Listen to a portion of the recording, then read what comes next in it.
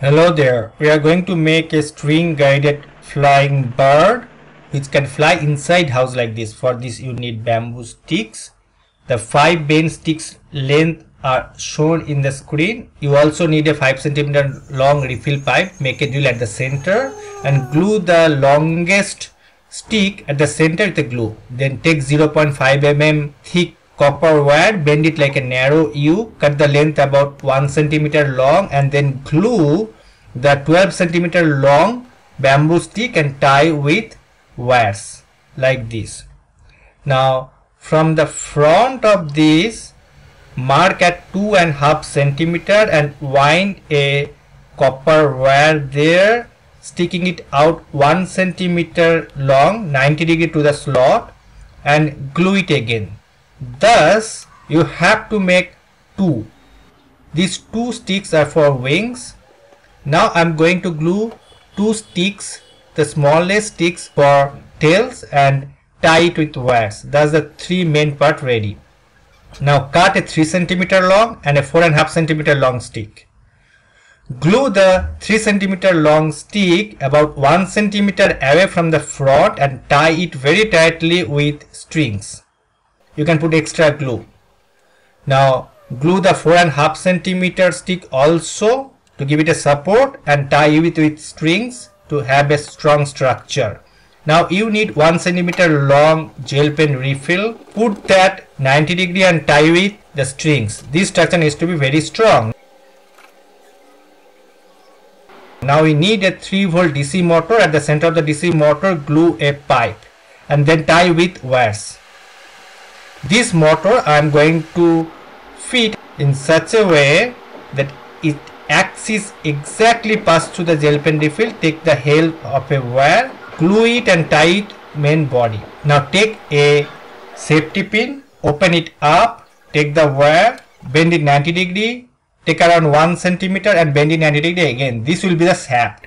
This shaft you need to connect with the motor using a coupler. I have used a small pipe as a coupler to connect the shaft. Be sure it is tightly connected.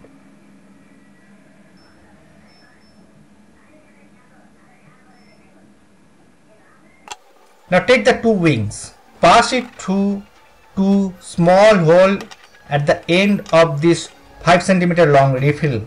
Pass and bend the wire on the other side. Now Make a crankshaft from a strip of plastic. Make a drill at the top, pass a pin through it, then put that structure through the two slot and on the other side cut the length extra length of the pin and put a small piece of pipe and glue it so that it doesn't come out. Now measure the longest length that shaft can go. Mark there Make a drill. Cut the extra length of the crankshaft. Now pass it through the main iron shaft. Stick some bush which is nothing but the pipes. I have used the same refill pipes and glue it. Be sure it is freely moving. Now power the DC motor using a 3.7 volt LiPo battery connect it with the motor using a switch in series like this. Switch it on, you can see the wings frame is flapping. Now to make the wings, you need plastic, cut it from a plastic bag. First stick the tail, center of the tail, cut the extra plastic out like this and then stick both the side using cello tape. Thus the bird's tail is ready. Now you can paint feather like structure there using a marker. Now for the long wing, glue the body or the spine, cut the extra plastic out and then use cello tape to glue the frame with the plastic wing.